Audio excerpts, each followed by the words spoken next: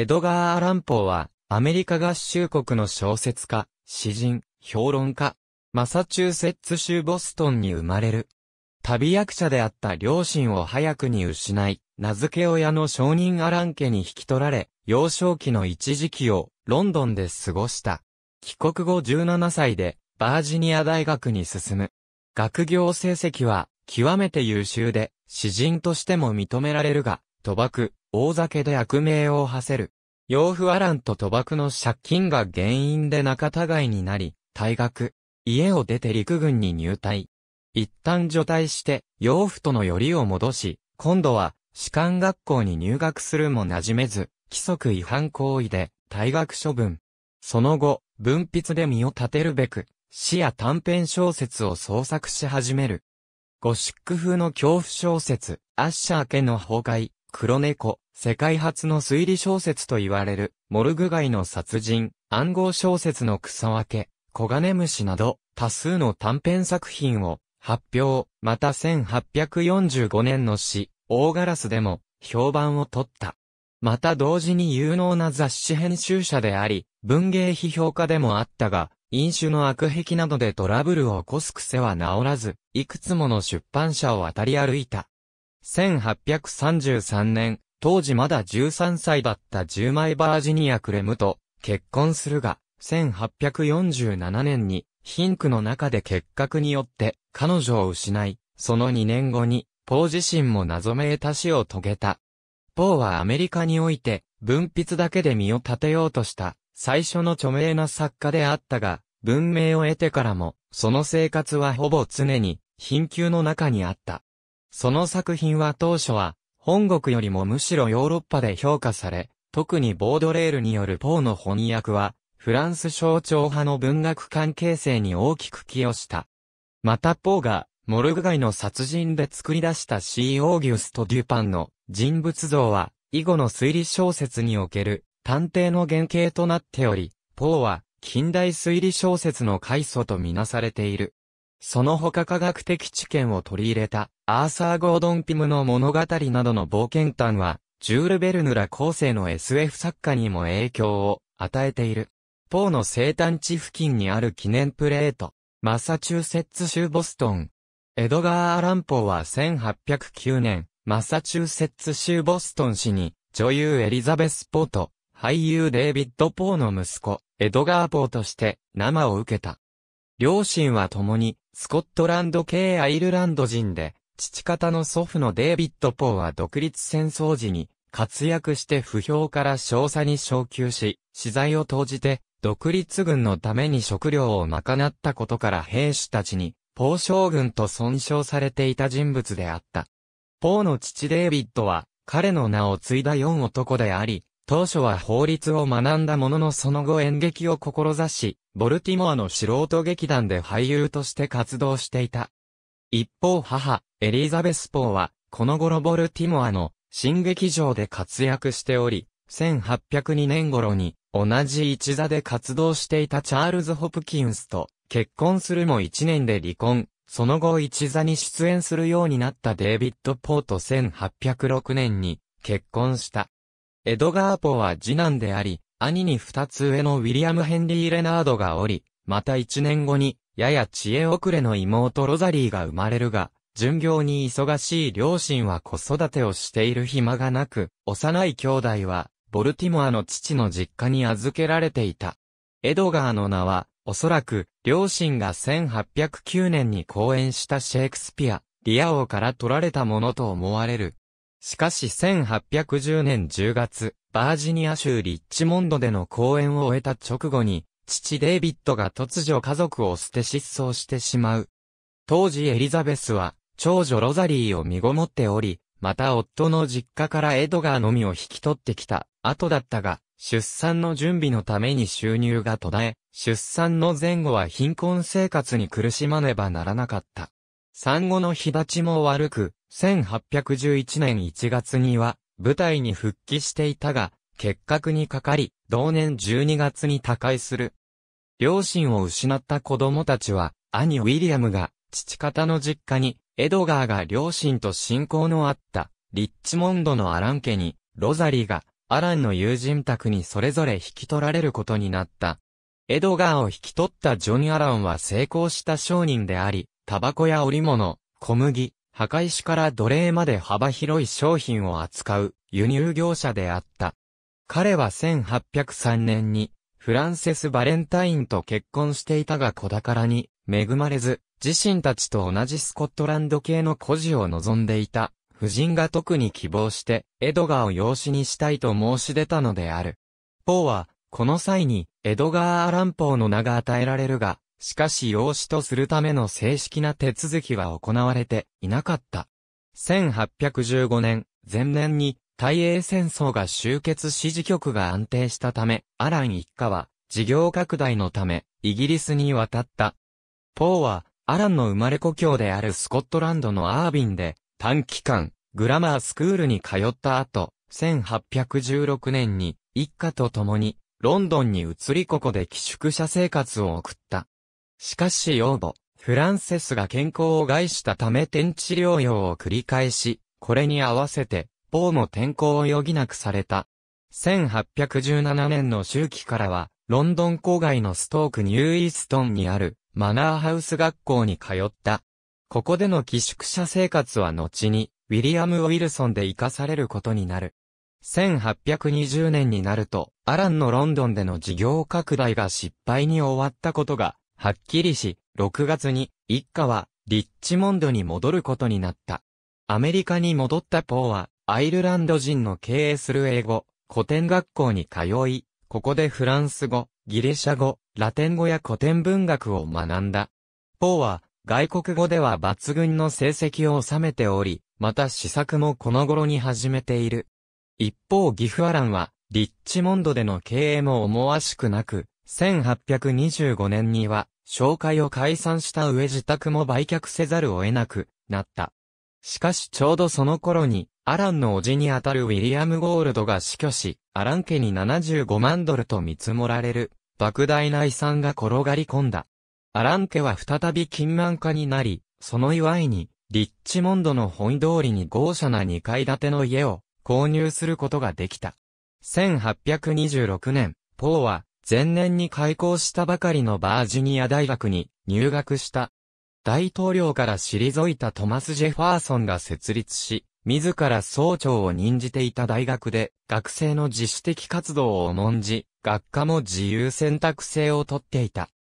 ポーは、ここの学生寮で生活しながら、ギリシア語、ラテン語、フランス語、ドイツ語、イタリア語、スペイン語を学び、その他古代地理、美文学、修辞学なども受講し、文学では、ウェルギリウス、トゥキディデス、ユウェナリス、ホメロス、ヘシオドスといった古典文学のほか、シュレーゲル兄弟、ノバーリス、ティーク、ホフマン、ゲーテ、シラーなどのドイツ文学に親しみ、図書館にも熱心に通った。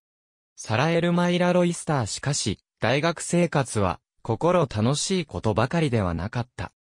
ポーは大学に入る前年、近所に住む美少女、サラエル・マイラ・ロイスターと恋に落ち、密かに婚約を交わしていたのだが、大学に入って以降に彼女へ送った恋文の返事が全く来なかったのである。ポーは知らなかったのだが、彼の送った手紙は、エルマイラの父親に破り捨てられていたのである。その後、エルマイラは父親により、豪商の息子に、嫁がされることが決まった。失恋に続き金銭面での問題が起こった。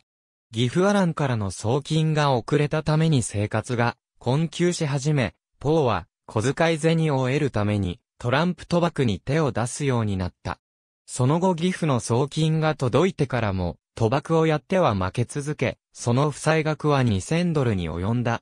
事情を知ったアランは、ポーの生活費の借金は返済してやったが、賭博の負けは、絶対に返済しようとしなかった。陸軍時代のポーが最初に配属された、ボストン港にある独立トリーで、借金を抱え大学を辞めざるを得なくなったポーは、1827年3月に家出同然にリッチモンドの実家を出てボストンに向かった。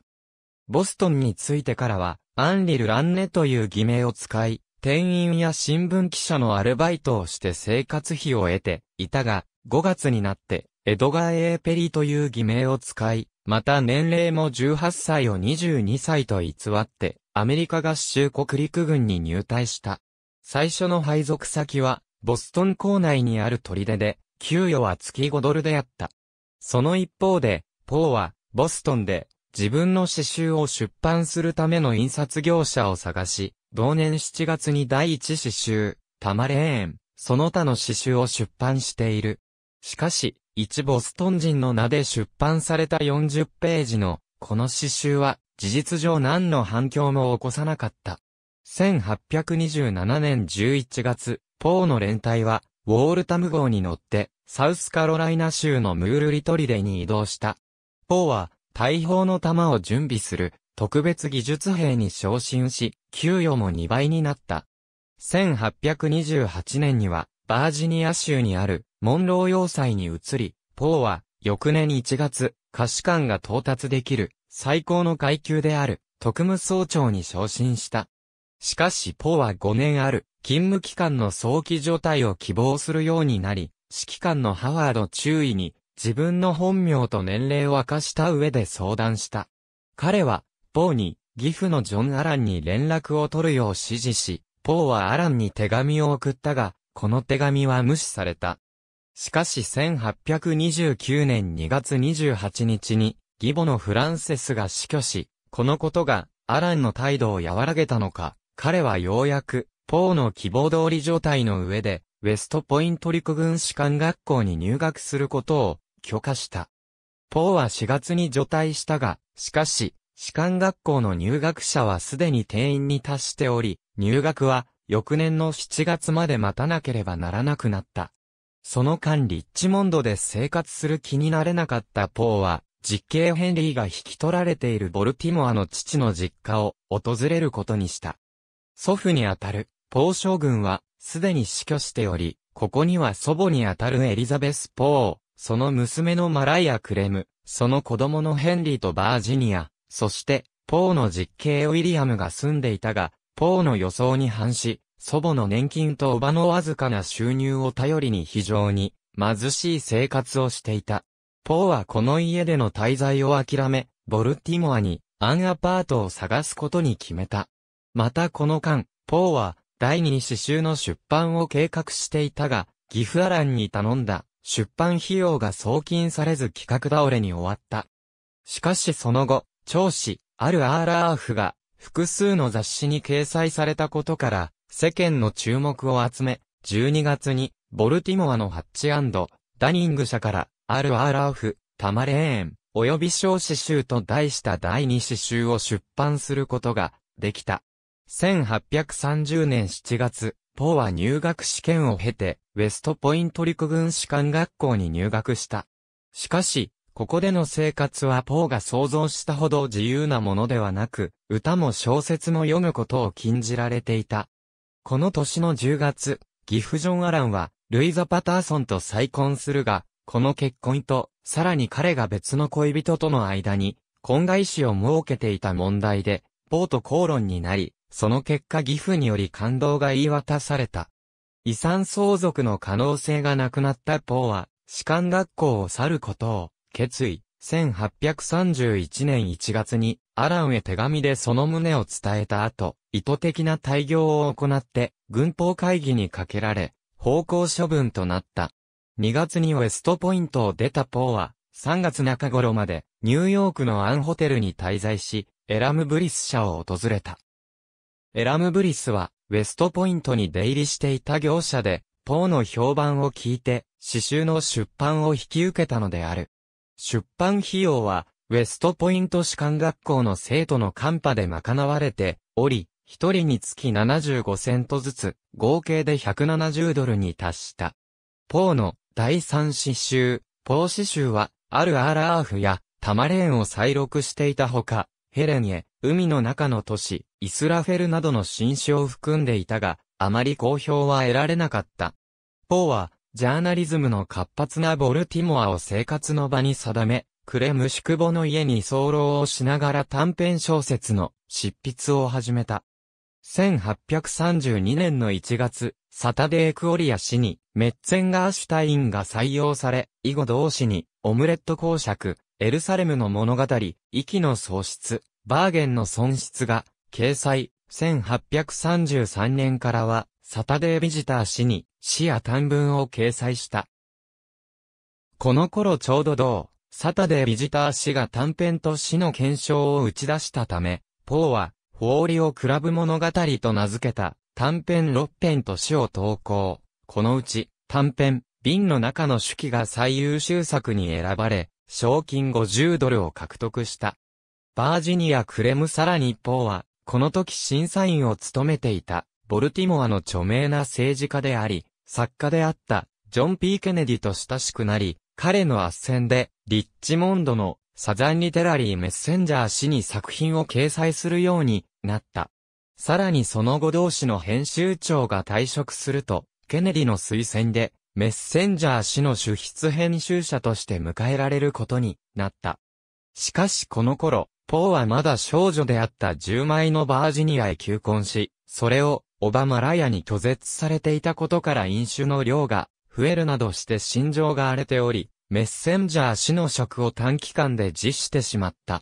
しかし度重なるポーの説得に、マライアが俺、1833年9月に、ボルティモアの軍裁判所から結婚許可を受けた。当時ポーは26歳、バージニアはまだ結婚不可能な13歳1ヶ月であったが、結婚誓約書には21歳と記されていた。その後ポは、メッセンジャー氏の創刊者、トマス・ホワイトに再就職の希望を伝えて受け入れられ、10月に妻となったバージニアとオバマライアと共にリッチモンドに移り住んだ。メッセンジャー主筆としてポーは自作の短編を発表していっただけでなく、迷子広い分野に及ぶ論壇辞表を書き、また苛烈な作品表を行って評判を取った。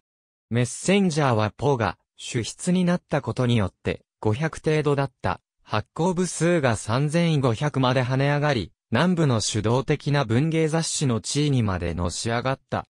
仕事が軌道に乗ったことから、1836年5月に、ポーは、クレム・オバヤ・ホワイト、トマス・クリーランド知事など9名を招いて、バージニアとの公開の結婚式を挙げた。メッセンジャー氏は、好評を取り続けたが、しかし、ポーは実績に見合った昇給をしてもらえず、また編集に口出しがされ始めたことで創刊者のホワイトと不仲になり始めた。就職から1年経った1837年1月、ポーはメッセンジャーを辞し、2月末に家族を連れてニューヨークに移った。ここで編集の仕事をするつもりだったのだが、しかし依頼しておいたニューヨーク評論編集のポストが不採用になり、代わりに以前、メッセンジャーに2度掲載した長編、アーサー・ゴードン・ピムの物語の完成に力を注いだ。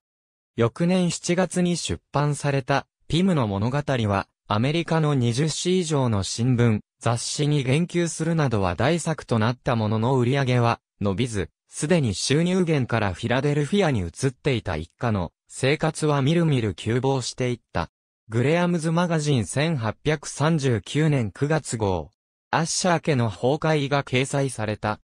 ポーは、アメリカンミュージアム誌に、ライジーアなどいくつかの作品を発表した後、1839年、喜劇俳優ウィリアム・バートンが創刊した雑誌、ジェントルマンズマガジンに依頼され、週休10ドルでこの雑誌の編集者となった。ポーは、メッセンジャー時代の編集の経験を活かしつつ、ウィリアム・ウィルスン、アッシャー家の崩壊などの短編や詩を同誌に掲載していき、その傍らリーブランチャード社より、初の小説作品集、グロテスクとアラベスクの物語を同年9月に刊行した。25編からなる、この作品集は、非常に多数の雑誌が書評を行ったが、評価は賛否両論であった。その後バートンと編集方針などで対立したため、翌年6月にポーは、ジェントルマンズマガジンを辞めるが、バートンが雑誌を弁護し、ジョージ・グレアムに譲渡し新たに、グレアムズマガジンが創刊されるとポーは新雑誌の編集者として迎えられた。こうして11月に創刊したグレアムズマガジンでは、群衆の人、モルグ街の殺人、メールシュトレームに飲まれて、などの短編の他多数の評論を発表し、1年半後には、グレアムズマガジンは、発行部数3万7千部を誇る、アメリカ合衆国最大の雑誌へと成長した。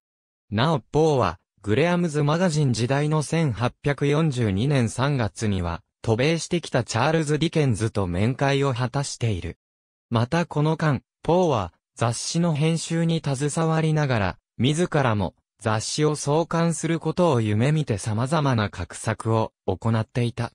すでに、ジェントルマンズマガジン時代に、ペンマガジンの名付けた自分の雑誌を構想しており、1840年には、スタイラスと名を変えた、この雑誌の設立推奨を発表したが、この雑誌は、ポーの生存中に創刊されることは、ついになかった。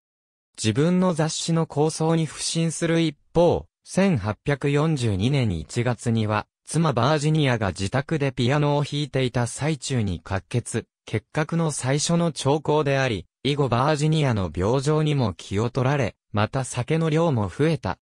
こうした事情でポーは、グレアムズマガジンの仕事を休みがちになり、4月になると、編集長の地位を、アメリカの詩人たちと、歌を出版したばかりのルーファス・ウィルモット・グリスールドに奪われてしまっていた。ポーは5月まで同志に勤めた後、職を辞した。グレアムズマガジンを去った後も、ポーはダラーズニュースペーパーの検証で、小金虫により100ドルの賞金を受けたほか、マリー・ロジェの謎、落とし穴と振り子などの作品を各紙に発表し、1843年9月には、作品集、三分物語集を刊行するが、依然として生活は急防していた。新規巻き直しを図るため1844年6月にニューヨークに移り、景気急無端、早すぎた埋葬、催眠術の掲示などを発表していき、1845年10月には、週刊誌、イブニング、ミラーの記者として迎えられた。1845年に、ポーが同誌に発表した詩、大ガラスは絶賛を博し、他誌にも次々に掲載され、ポーの文明を大いに高めたが、この詩の出版に対し、ポーに支払われた報酬はわずか9ドルであった。ポーが晩年に帰居していた、ニューヨークブロンクス区にある木造家屋。1845年2月よりポーは、ブロードウェイジャーナルに職場を移し、自作を寄稿した他文芸辞表を担当した。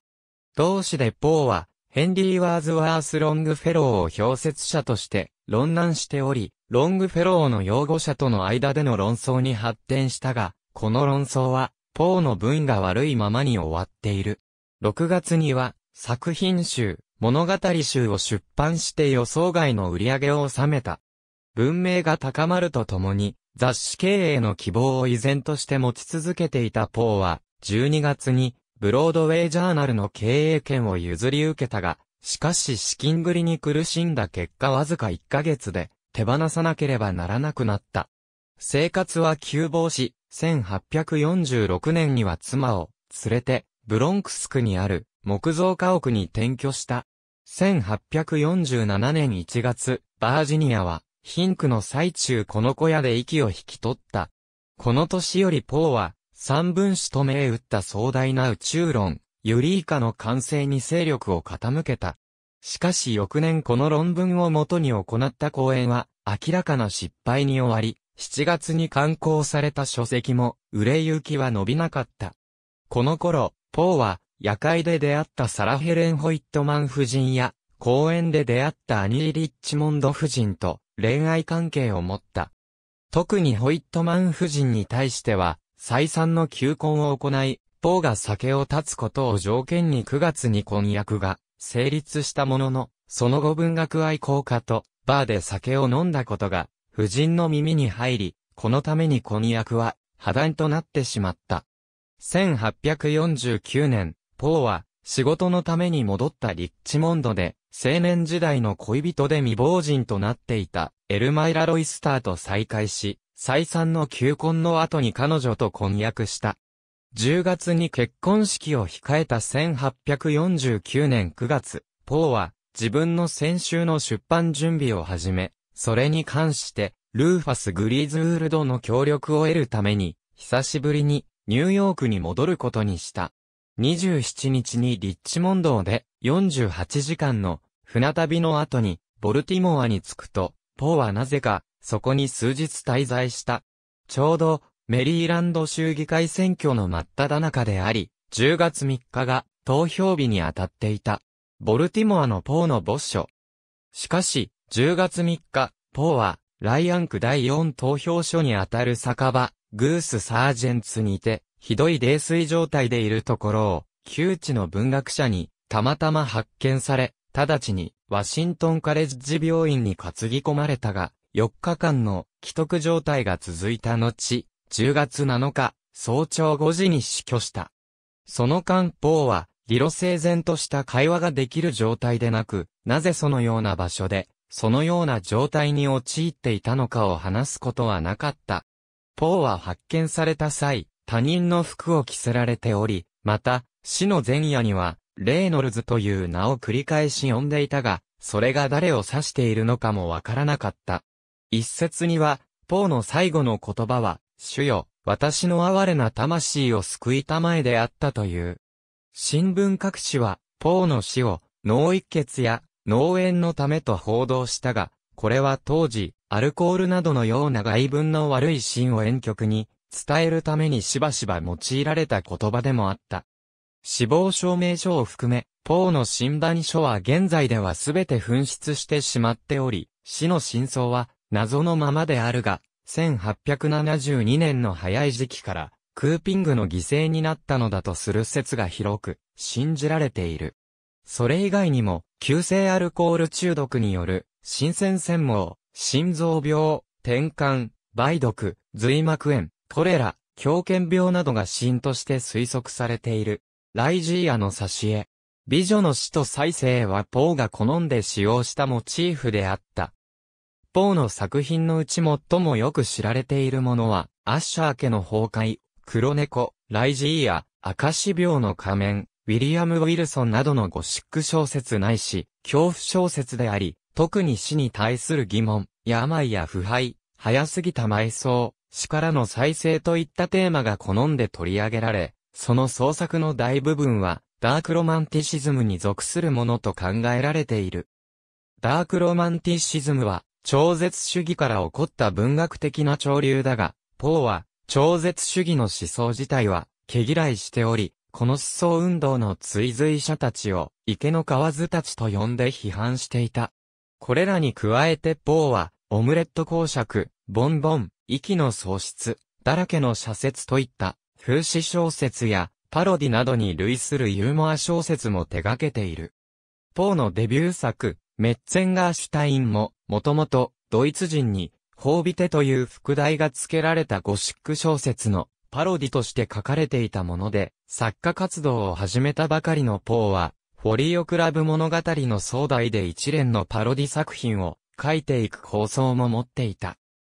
1841年に発表された、モルグ街の殺人は、しばしば史上初の推理小説とされており、この作品で生み出されたシー・オーギュスト・デュパンの天才的、探偵像、回帰性と結末の意外性、物語の前半で、推理の材料を読者の前に公開し、最後になって推理を披露する、構成、不可能犯罪とトリックなどは、アーサー・コナンドイルをはじめとする後世の作家にこの、ジャンルの約束時として受け継がれている。ポー自身の推理小説と呼んでいたは、モルグ街の殺人とその続編のマリー・ロジェの謎、盗まれた手紙の3作、広く見積もっても、小金虫、お前が犯人だの5作程度しか書かれていないが、メルツェルの将棋雑誌、暗号論といったエッセイ、論考などを合わせて考えると、推理、分析というテーマは、ポーの作家人生のほぼ全体を通じて存在していたことがわかる。なお、ポーは、モルグ街の殺人の前年の1840年に、作品集、グロテスクとアラベスクの物語の序文に、自身の作品が、批評家から、ドイツ的で陰惨だと批判されたことを記し、もうこの種の作品は書かないだろうと宣言しており、ポーは病的な作風を変えようとした結果、推理小説という形式に行き着いたのではないかとも言われている。また、アーサー・ゴードン・ピームの物語、ハンス・プファールの無類の冒険などの冒険小説は、ジュール・ベルヌや H.G. ウェルズに少なからぬ影響を与えており、ポーはこれらによって SF 小説のパイオニアとしての評価もなされている。ポーにはこの他に、アルンハイムの辞書、ランダーの別荘など、風景庭園小説としてくくられる数編の作品がある。雑誌編集者であったポーは、雑誌という媒体を強く意識して作品を書いた最初の近代作家の一人でもあった。彼は雑誌の読者である大衆の興味を鋭敏に察知して作品に反映させており、その結果として骨葬学や乾燥術、催眠術といった疑似科学をしばしば作品で取り上げた。ゴシック小説もまた一面では当時の大衆の好みを反映したものである。サザンリテラリーメッセンジャー史時代より、ポーは短編作品とともに多数のエッセイや書評を自分の勤める雑誌に寄稿しており、存命中は歯に衣着せぬ批評家としてよく知られていた。1830年代から40年代のアメリカ合衆国の分断は、ヘンリー・ワーズワース・ロングフェローを中心としたニューイングランド出身の作家たちが中心となっており、その書評、批評は、身内びいきのいい加減なものが多かった。このような現状に業を煮やしたポーは、文芸批評に、原理という基準を持ち込み、文学に必要な要素を明らかにしようとしたのである。例えばポーは死に関しては、その唯一正当な領域が美にあるとし、美は義務や真実とは依存関係を持たないという考えから、死における教訓主義を正当な文学から排除している。また死におけるリズムは、真実を追求する表現のためには障害となるが、他方物語においては、真実はしばしば極めて重大な目的となるとしている。そして、ポーはこれらの創作における、効果の統一性や、印象の統一性を強調しており、その統一性をもたらすために、作品の長さが一気に読めるようなものでなくてはならないとして、死については、長大な女児詩を時代遅れのものとして退け、小説については1、2時間で読める短編小説を長編小説よりも優位に置いている。初期の書評で展開された、ポーの批評原理は、晩年に、試作の哲学、死の原理という講演でまとめられており、試作の哲学では自作、大ガラスの各修行がどのような意図で語を選択しているのかを、蓄字的に明らかにしていき、死の原理では前述したような死の本質を解きながら、ポーの愛読する、様々な死を解説している。本国アメリカ合衆国においては、ポーの作品は長い間正当な評価を受けておらず、一部の愛読者からの賞賛を除くとその文学的地位は低く止まっていた。ポーの作品がアメリカで受け入れられなかったのは、一つには、アメリカ文学がもともと、新京都の多い北部ニューイングランドで起こったものであり、文学界で指導的地位を持っていたのが、北部の批評家や出版社だったため、南部の文学が軽んじられていたという理由による。英米では、当時、作品の良し悪しの判断は、倫理性、道徳性や啓蒙性の有無に基づいて行われており、そのため単美的、大敗的な傾向のあるポーの作品は、高い評価を受けることができなかった。ポーを誹謗する、回想録を書いたルーファス W. グリーズウールド。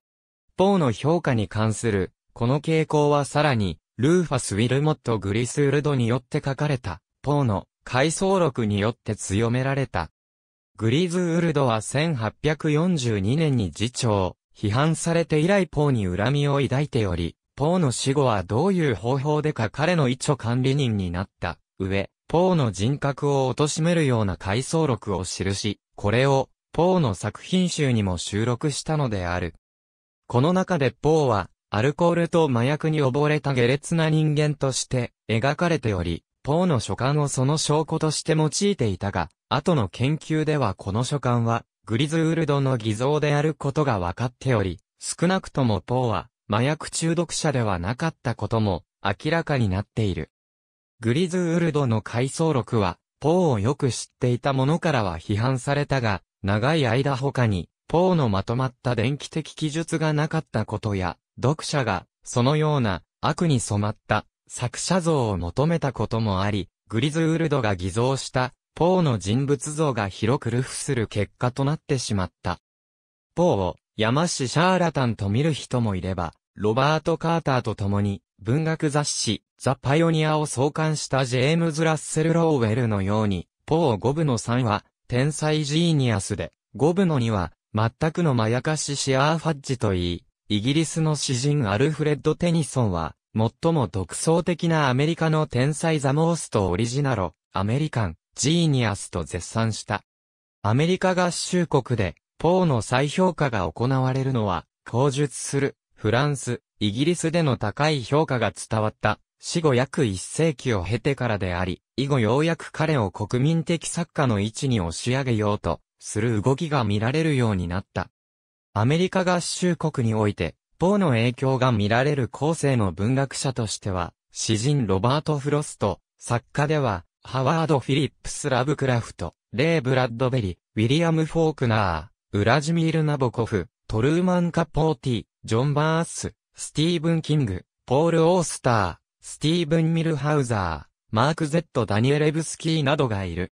1954年からは、アメリカ探偵作家クラブによって、ポーの名を冠したエドガー賞が設立され、毎年優れた推理作家の顕彰を行っている。ポーの作品は1844年12月、フランスのラ・コティディエヌに分祭されたギュスターブ・ブレネーという人物によるウィリアム・ウィルソンの本案で初めて多国語で紹介された。フランスではこれに次いで1845年8月、盗まれた手紙の本案がル・マガザン・ピトレスクに掲載されたが、これには、原作者の名も本案者の名も明かされていなかった。以後、アルフォンス・ボルゲールスによる、コガネムシ、ムーニエ夫人による、黒猫、モルグ街の殺人他数編のわけなど、複数の翻訳が現れ、1853年には、アルフォンス・ボルゲールス分け、エドガー・アーラン・ポー新選集によって、初めて、ポー作品の翻訳単行本が刊行されている。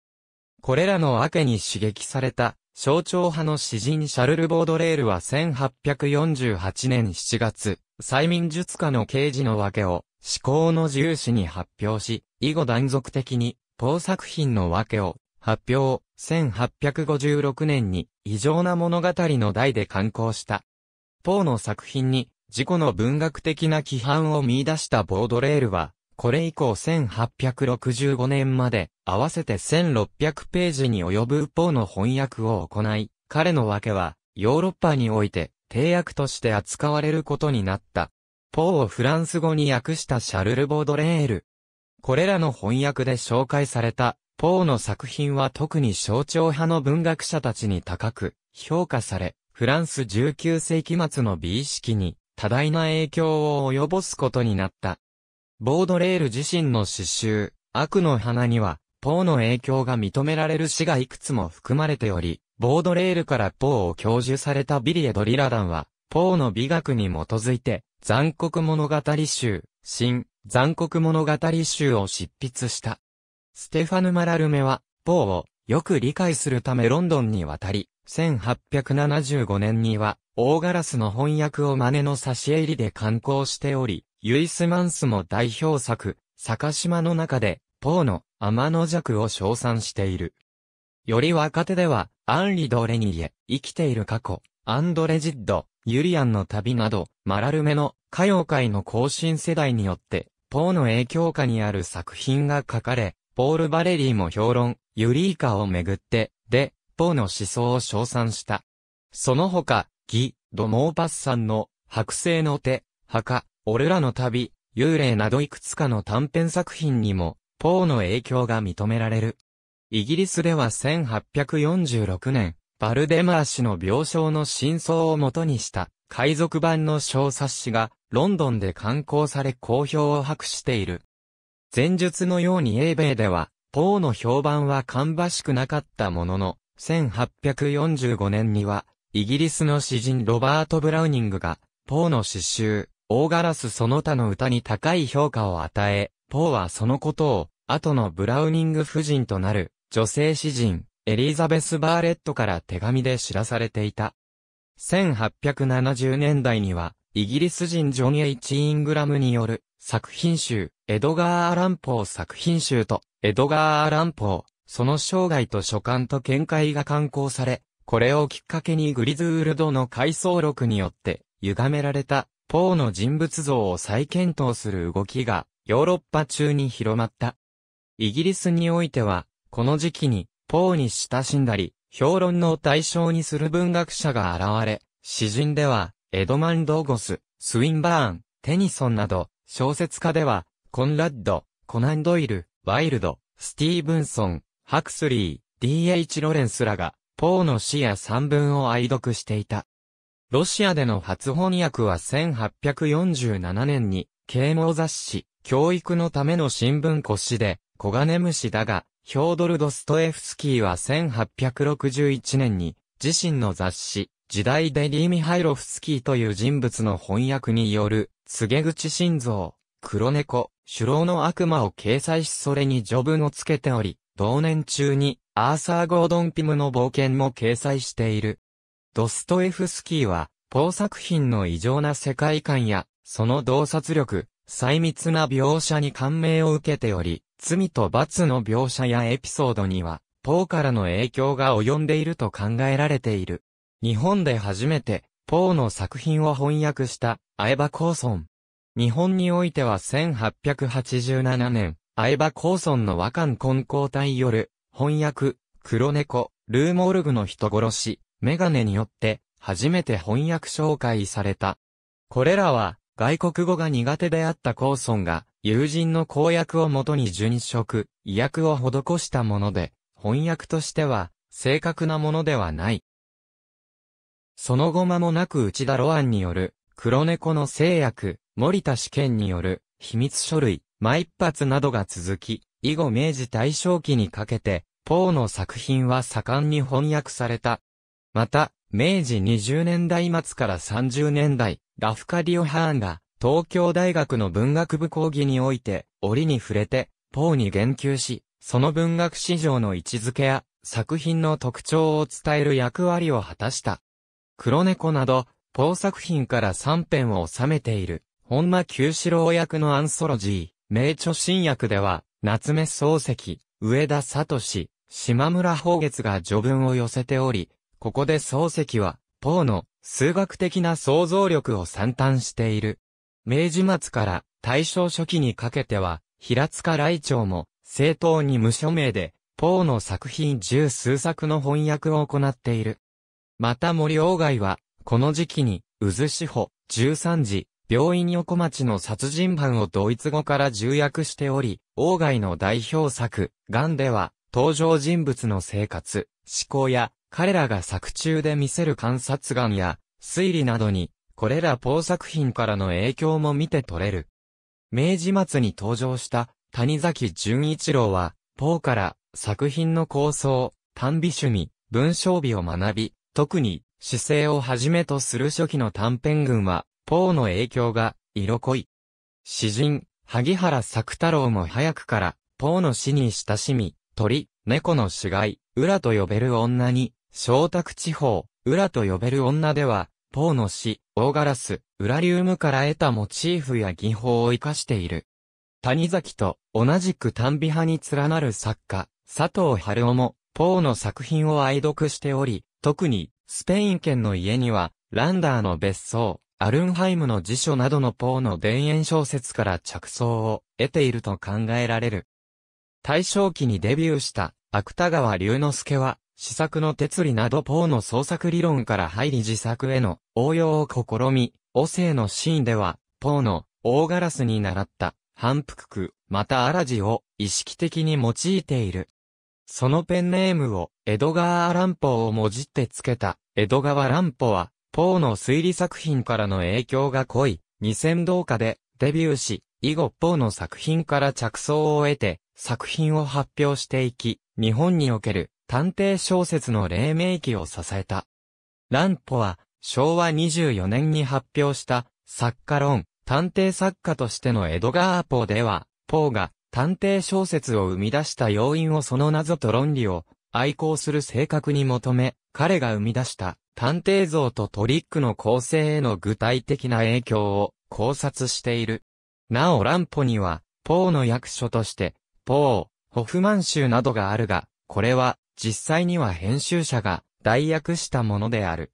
昭和初期には、横光リーチが、プロレタリア文学に講し、形式主義的な文学を擁護する際に、ポーの試作の哲理をその論拠とした。昭和10年には、牧野真一が、ユリーカの翻訳を出しているが、この時期は牧野自身のギリシア的、中性的な作風からの転換期にあたっている。その僕屋に見出された、坂口暗号は、ボードレールが、ポーの仏訳の際、罰だらけの社説、ボンボンなどのバカ話を除外したことへの抗議の意味を込めて自ら、風博士などの初期のファルス作品を書いたとしている。戦後作家では、ハニヤ・タケシダカが、ポーの作品に影響を受け、特に、メールシュトレームに飲まれての論理的明晰さに惹かれ、短編、国空はこの作品に匹敵するものを書きたいと思って、書いたものだと述べている。また大岡昌平は代表作、のびについて、その細部をポーとスティーブンソンを下敷きにしたとしている。昭和以降の翻訳では、1912年に、佐々木直次郎によって、ポー小説全集が、刊行、1941年には、純一郎の弟、谷崎誠二による、江戸川ポ小説全集の刊行が開始され、1963年には、東京草原社より30名近い文学者が各作品の翻訳を分担した呆然集が刊行されている。ドビュッシーはアッシャー家の崩壊のオペラ化を試みている。ポー作品の音楽化は20世紀に入ってから始まる。ポーの作品をボードレールの翻訳を通して単独していたクロード・ドビュッシーは首脳の悪魔とアッシャー家の崩壊のオペラ化を試みており、特に後者は1890年代にすでに着想していたものだったが、台本は完成したものの曲の方は作者の詩によって未完となった。これについては、ジュアン・アジャブリンやロバート・オリッジによる保筆版が存在する。またリカルド・ビニエスに教えられて、ポーの作品を単独していたモーリス・ラベルは、ポー作品に基づく曲はないものの、ポーのエッセイ、構成の哲理を作曲の原理にも応用できるものとして捉え影響を受けていた。フランスではこの他に、フローラン・シュミットの公共的エチュード、幽霊宮殿やアンドレ・カプレのハープとオーケストラのための作品、赤死病の仮面があり、1913年には、アンリエット・ルニエが、告げ口心臓からヒントを得たハープのための楽曲、幻想的バラードを作曲している。イギリスでは作曲家、ジョセフ・ホルブルックが、公共誌、オーガラス、オーケストラのための前奏曲、鐘、バレエ音楽、赤死病の仮面など、ポー作品に基づいて30以上の曲を作っている。ロシアでは、ニコライ・ミヤスコフスキーに、オーガラスに寄せた、公共誌静寂作品9が、セルゲイ・ラフマニノフに、象徴派詩人、コンスタンチン・マリモントの翻訳による、首脳の悪魔を元にした読章と合唱とオーケストラのための作品、金がある。1913年以降は、ポーの音楽家の試みは一時途絶え、日本の三好明が1969年に、劇音楽、赤騎士の仮面愛、1970年に、赤騎士の仮面、2を、1984年になって、新ジットク映画、男性合唱曲、ザベルズ鐘の音を聞けたいを、ロシアのニキタ・コシュキンがギター独奏曲、アッシャーワルツを書いており、アメリカのフィリップ・グラスも1987年に二幕のオペラ、アッシャー家の崩壊を作曲している。また、2010年には、中西茜の訳詞、作曲による、混声合唱組曲、ポーの鐘が初演されている。ポーに共感を寄せるミュージシャンの一人、マリリン・マンソン。一方、ポピュラー音楽においては1960年代から盛んにポー作品からインスピレーションを受けた楽曲が作られており、アイアンメイデンのモルグ街の殺人、MC、ラーズのミスター・オーガラス、アラン・パーソンズプロジェクトのコンセプトアルバム、怪奇と幻想の物語、エドガー・アラン・ポーの世界、同メンバーの一人エリック・ルフソンによる続編的アルバム、ポー、 More Tales, of Mystery Imagination、ルーリードのアルバム、 The Raven などがあるほか、ビートルズの I Am the Walrus、ジョーン・バイズのアナベル・リー、グリーンデーのセイント・ジミー、マリアナ・ストレンチのファントムズ、パブリック・エネミーのテロ屋敷にようこそ、宇多田ヒカルの Kremlin Dusk などに、ポーやその作品への言及が見られる。85年には、ドイツのバンドプロパガンダが夢の中の夢を朗読した曲を、ファーストアルバムに収録し、ブリトニー・スピアーズも、ツアー、夢の中の夢で、ポー作品を使用している。さらに、1990年代には、ポーに浸水し彼からアーティスト名を借りたポーという、シンガーソングライターが、2005年には、ポーの文学を歌詞のテーマにした、エイドリーム・オブ・ポーというゴシック、ドゥームメタルバンドがそれぞれデビューしている。またマリリン・マンソンは、ポーへの浸水を語っており、その結婚式は、エドガー・アラン・ポー風とメディアに報じられた。マンソンは、ポーの水彩画を描くなどもしており、インタビューで、ポー作品を元にした映画を作りたいと語ったこともある。ポーの成果や幼少期の住居は、アラン家のモルダビアの辞書にあったものを含め、現存していない。アラン家の古い家屋として、リッチモンドのオールドストーンハウスがあり、現在ここはエドガー・アランポー博物館として使用されているが、ポー自身がここで生活したことはない。この博物館ではポーがアラン家で生活していた当時の様々な品やポー作品の希少な初版を所蔵している。ポーが1826年に使用していたと考えられているバージニア大学の寄宿舎の部屋は大ガラス協会と呼ばれる学生スタッフによって保存、運営されており、見学も可能になっている。ポーの生前の住居の一つを保存、使用している、フィラデルフィアのエドガー・アランポー自然史博物館。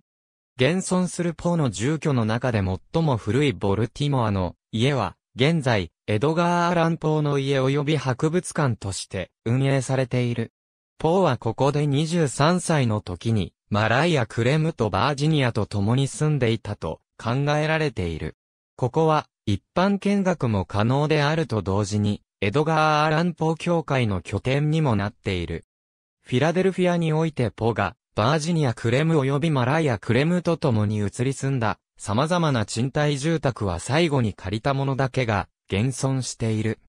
1843年から1844年まで住んだスプリングガーデンがそれで、ここは現在ナショナルパークサービスによって保存され、エドガー・アランポー自然史博物館として使用されている。ポーの最後の住居で、ポーコテージと呼ばれる木造家屋は、ニューヨーク州ブロンクス区に現存する。ポーに関係する住居としては、他に、ポーが最初にニューヨークに移った時一時的に借りていた建物が、アッパーウェストサイドにあり、石踏み板にはポーはここで大ガラスを執筆したと記されている。またポーが酒を飲んでいる姿が最後に目撃されたと言われている酒場がボルティモアのフェルズポイントに現存しており、その地域にはエドガーと呼ばれる幽霊がその酒場の各部屋に出現するという伝承がある。ポーの1875年以前の埋葬場所を示す石碑。ポーの墓はボルティモアのウェストミンスターホール墓地にある。当初ポーは、墓地の裏の隅の目立たない場所に、祖父のデイビッド・ポーと共に葬られていたが、ここには、墓石もなく、目印として、ナンバー80と書かれた砂岩のブロックが置かれて、いるだけの極めて粗末な墓であった。1873年になって、ポーの墓所を訪れた南部の詩人パウル・ハミルトン・ハイネが、ポーの墓の惨状を新聞記事で伝えたことをきっかけに、ポーのためにより立派な墓碑を建てようという呼びかけが行われた。1875年、ポーは、教会の正面の場所に埋葬し直され、全米から集まった寄付をもとに1500ドルの費用をかけて墓碑が建てられた。元々の埋葬場所にも新たに石碑が建てられたが、1949年から2009年までの60年間、毎年この石碑を訪れて、バラの花とコニャックを捧げていた者がいた。この人物は、ポートースターと呼ばれていたが、現在は途絶えている。1830年代1840年代翻訳全集、その他の訳本研究文献。ありがとうございます。